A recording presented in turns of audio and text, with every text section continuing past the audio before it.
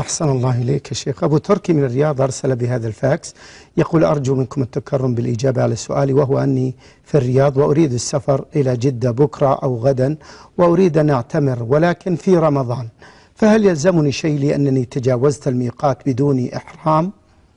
ترجع إلى الميقات وتحرم منه في رمضان إذا كنت تريد الأجر وأيضا تريد صحة العمرة لأنك ما يجوز تتجاوز الميقات بدون إحرام. وأنت ناوي العمرة تقول أحرم من جدة نعم. يرجع إلى ميقات السيل يا شيخ؟ نعم إلى الميقات الذي يمر به. طيب. نعم.